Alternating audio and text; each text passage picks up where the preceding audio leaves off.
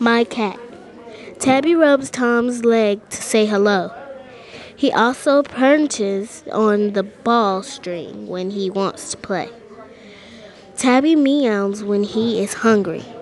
Tabby also licks his fur to stay clean. Tabby also purrs when he do not feel good. Tabby keeps Tom company even when he is asleep. Tabby is Tom's best friend. The end.